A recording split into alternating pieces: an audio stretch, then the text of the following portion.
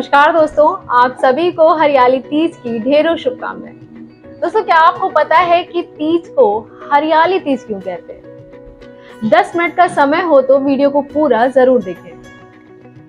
भविष्य पुराण में देवी पार्वती बताती हैं कि तृतीय तिथि का व्रत उन्होंने बनाया है, जिससे स्त्रियों को सुहाग और सौभाग्य की प्राप्ति होती है। मानता है कि हरियाली तीज के दिन माता पार्वती और शिव जी की आराधना सच्चे मन से करने वालों की मनोकामनाएँ पूरी होती है।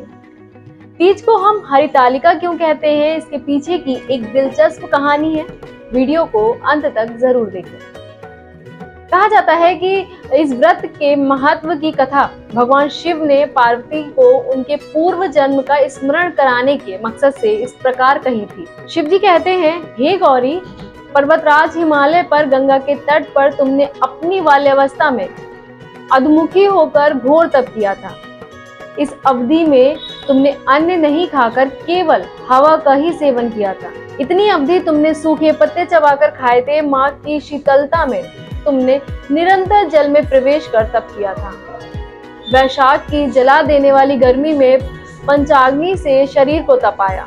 श्रावण की मूसलाधार वर्षा में खुले आसमान के नीचे बिना अन्य जल ग्रहण किए व्यतीत किया। तुम्हारी इस कष्टदायक तपस्या को देखकर तुम्हारे पिता बहुत दुखी और नाराज़ होते थे। तब एक दिन तुम्हारी तपस्या और पिता की नाराज़गी को देखकर नारद जी तुम्हारे पास आए। तुम्हारे पिता ने आने का कारण पूछा तो नारद जी बोले, हे गिरिराज, मैं भगवान विष्णु के भेजने पर यहाँ आया हूँ। आपकी कन्या की घोर तपस्या से प्रसन्न होकर वह उनसे विवाह करना चाहते हैं। इस बारे में मैं आपकी राय जानना चाहता हूँ। नारद जी की ये बात सुनकर पर्वतराज अति प्रसन्नता के साथ बोले, श्रीमान, यदि स्वयं विष्णु मेरी कन्या का वर्ण करना चाहते हैं तो मुझे क्या आपत्ति हो सकती है वे तो साक्षात ब्राह्मण हैं। ये तो हर पिता की इच्छा होती है कि उसकी पुत्री सुख संप्रदा से युक्त पति के घर की लक्ष्मी बने नारद जी तुम्हारे पिता के स्वीकृति पाकर विष्णु जी के पास गए और उन्होंने विवाह तय होने का समाचार सुनाया। लेकिन जब तुम्हें इस विवाह के बारे में पता चला तो तुम्हारे दुख का ठिकाना नहीं तुमने इस प्रकार से दुखी देखकर तुम्हारी एक सहेली ने तुम्हारे दुख का कारण पूछा। पर तुमने बताया कि मैंने सच्चे मन से भगवान शिव का वर्ण किया है, लेकिन मेरे पिता ने मेरा विवाह विष्णु जी के साथ तय कर दिया। मैं विचित्र धर्म संकट में हूँ। अब मेरे पास प्राण देने के अलावा कोई और उपाय नहीं बचा। तुम्हारी सखी बहुत ही समझदार थी। उसने कहा, प्राण छोड़ने का यहाँ कारण ही क्या है? संकट के समय धैर्य से काम लेना चाहिए। भारतीय नारी के जीवन की सार्थकता इसी में है जिसे मनुष्य के रूप में एक बार वर्ण किया, जीवन प्रयत्न उसी से निर्वाह करना सच्ची आस्था और एक रिश्ते के समक्ष तो भगवान भी असहाय है।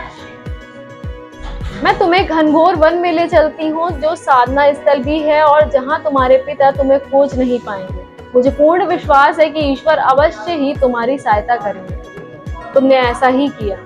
तुम्हारे पिता तुम्हें घर में ना पाकर बड़े चिंतित और दुखी हुए। इधर तुम्हारी खोज होती रही और उधर तुम अपनी सहेली के साथ नदी के तट पर एक गुफा में मेरी आराधना के लिए लीन रहने लगे। तुमने रेत के शिवलिंग का निर्माण किया, तुम्हारी इस कठोर तपस्या के प्रभाव से मेरा आसन हिल उठा और मैं शीघ्र ही तुम्हारे पास पहुँचा और तुमसे वर मांगने को कहा। अब अपनी तपस्या के फलभूत मुझे अपने सामने पाकर तुमने कहा, मैं आपको सच्चे मन से पति के रूप में वर्ण कर चुकी हूँ। यदि आप सचमुच मेरी तपस्या से प्रसन्न होकर यहाँ पधारे हैं तो मुझे अपनी अर्धांगिनी के रूप में स्वीकार कर लीजिए। तब तथास्तु कहकर मैं कैलाश पर्वत पर लौट गया।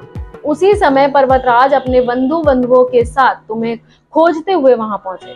तुमने सारा वृत्तांत बताया और कहा कि मैं घर तभी जाऊँगी अगर वह महादेव से मेरा विवाह करेंगे। तुम्हारे पिता मान गए और उन्होंने हमारा विवाह करवाया। इस व्रत का महत्व है कि मैं इस व्रत को पूर्ण निष्ठा से करने वालों के प्रत्येक स्त्री को मनवांछित फल देता हूँ। इस पूरे प्रकरण में तुम्हारी सखी ने तुम्हारा हरण किया था। इसलिए इस व्रत का नाम हरतालिका व्रत हो गया। दोस्तों, आप किस राज्य से हैं और आपके यहाँ तीज कैसे मनाते हैं, हमें कमेंट सेक्शन में ज़रूर बताएँ। एक दिलचस्प और भावहीन कहानी जो हमने आपके साथ साझा की कि आखिर हम लोग तीज का व्रत क्यों मनाते हैं। आप कैसे तीज का त्यौहार मनाते हैं, हमें कमेंट सेक्शन में ज़रूर बता सकते हैं। धन्यवाद।